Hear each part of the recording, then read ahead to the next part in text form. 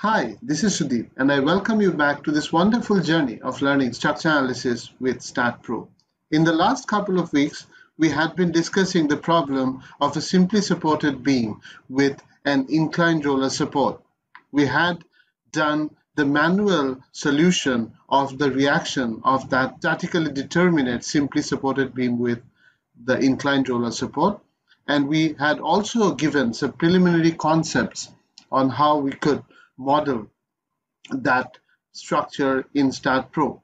Today, we will actually model that structure in STAAD.Pro. But before we go forward, please do take a moment to hit the subscribe button if you're new to this channel to join us in this wonderful journey of learning structure analysis with STAAD.Pro. And if you have been around with us for some time in this channel and you had been getting value out of it, please do hit the like button. So we had been discussing this particular structure that you see on the screen in the last couple of weeks. And today our objective is to model this structure as a whole in STAAD.Pro, do the analysis and interpret the analysis results. So let us see how we could model this structure in STAAD.Pro. So we have the STAAD.Pro open and before we go forward and do anything with STAAD.Pro. We just need to ensure that the base seating units are proper. We remember that the structural units were in kips and feet. The dimension of the structure was in feet and the loads were in kips. So we want to have an English base unit setting and we see that it is already set appropriately. So we are happy with this. So let us go now and create a new STAAD file which we call as uh, simply supported beam with inclined support. And the folder for me uh, or the location of the STAAD file is correct. So we would go and create the STAAD file by hitting the create button. Well the first thing that we see in the new STAAD file is that the nodal coordinates are being specified in units of inches, but we remember that our structural dimensions were defined in units of feet, which would mean that we need to convert the feet to inches, which is inconvenient. So what we'd do is we'd right click and we'd go to the display options and go to the structure units and change the dimension values to the units of feet instead of the default inches and we click on apply and we click on OK. Well, you might be confused as to why it is still being displayed in inches. Well, it's a refresh issue. So if you just go to another window and come back, you will see that the units have changed back to feet. The first node that we will create is the extreme left node and let us consider that node to be situated at the origin. So we will say that the x y and z coordinates are 0 0 0 the second node after the extreme left node is at a distance of 4 feet from it. So it would be defined as 4 for the x coordinate because we are defining the beam in the x direction 4 0 0 and as you can see from the picture the third node that we would create is at a distance of 8 feet from the second node. So 8 plus 4 would be 12, which is the x coordinate in absolute terms from the origin. So we'll have it as 12, 0, 0. Similarly, by referring to the picture, we can see that the next node will have the coordinates of 20, 0, 0, and the last node will have the coordinates of 2400. Now we can actually use the add beam feature to very quickly add the beams by clicking on the, the various nodes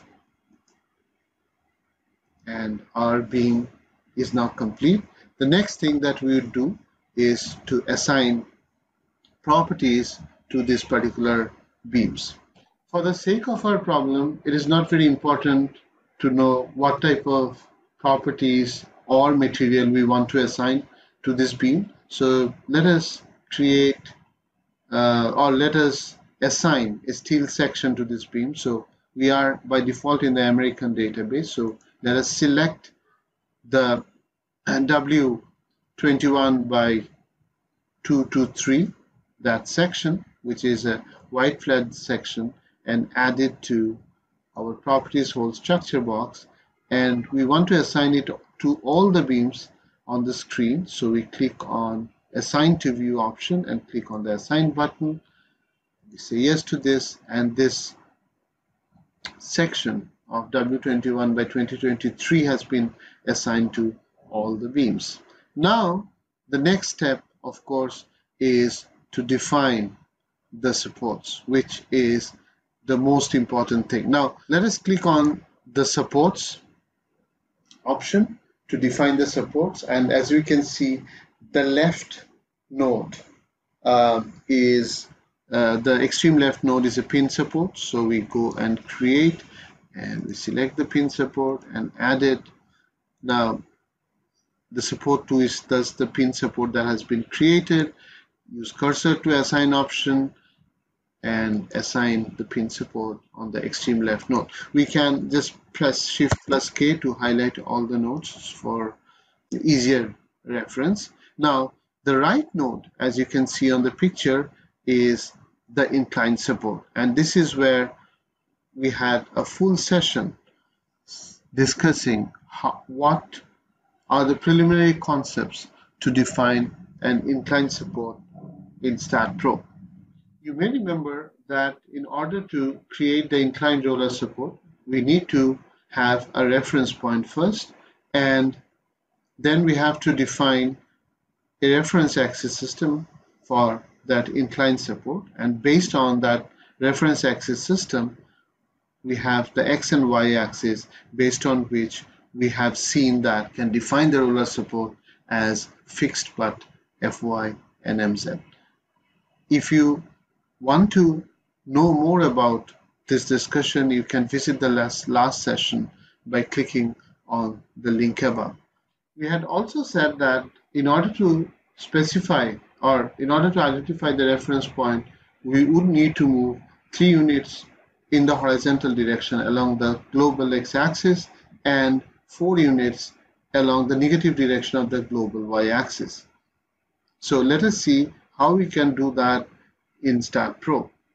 So to create the inclined roller support, we again click on the create button and we click on the inclined option and we say that we need to move three units in the right and four units to the left. Now the dimensions were in feet so we have to change this in feet units. So let us instead of changing the units again let us say that we want to move 3 feet to the right. So that would mean 3 multiplied by 12 which would be 36 inches and minus 4 units downwards which would be minus 4 feet. So 4 into 12 would be minus 48 and we say that we want to have now this would define the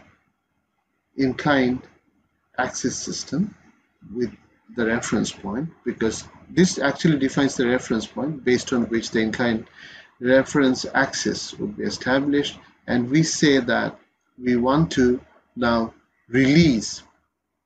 So we have selected the fixed but option and we are releasing along the Fy and MZ direction. So we click on the add button and we have now defined the inclined support. Now all that we need to do use we select the use cursor to assign option and assign the support here. Now though the representation of the inclined roller is like this but it has been defined correctly.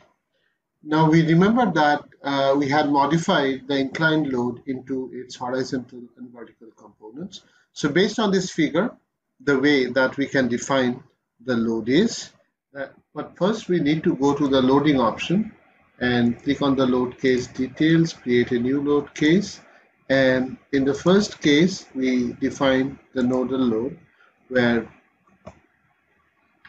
the nodal load was defined as 60 kips in the vertically downward direction or the along the negative direction of the global y-axis we click on the add button. In the next case we had a 40 kips load acting along the positive direction of the global y-axis so we add that as well. So these two loads are added as you can see here. And finally for the inclined load we had a vertical component of minus 40 kips and a horizontal component of minus 30 kips because both of them are acting in the negative direction of the global y and global x-axis respectively. So we add this. And now we can assign the first load to this particular node, the second load to this node, and the third node to this node. So basically if we sort of adjust the scales of viewing the load. Um, so we uh, increase this value of point load so that it is made um, sufficiently small for us to view and we click on the shift V button to display the load and we can see that we have modeled the load as we have wanted. Now we want to add the analysis command. Now let us go into the text editor to check uh, what has been defined. The first thing that we need to change, of course, because we are modeling the structure as STAAD plane, which would mean that the out of plane degrees of freedom would be restrained. And we have seen that though we had set the display units to feet, it has continued converting the units to inches unit because uh, we had originally started the unit systems as kip inches. So we used the same inches unit and we could see that though we had defined the joint coordinates in feet, it had automatically covered converted the, the joint coordinates to the inches unit. And we would also like to look at the inclined support command where um, the ink represents INC uh, ink represent the inclined support and these are the relative distances from load number 5 to locate the reference point and we have defined the loads and the perform analysis command is there. Now we can get out of the text editor, say yes to the changes and run the analysis command. So we go click on run analysis and the analysis uh, run is complete. So now we would like to go into the post-processing mode and check the results. Now once you have run the analysis, our work is complete. Now our job is to go into the post-processing mode and check out the analysis result. Now this is something that we will do in the next session as a continuation of this particular session and in that session we would also show you how you can access the support reactions from the output file. So if you have liked this session today, please do hit the like button and please do join us in the next episode. Till then, bye bye.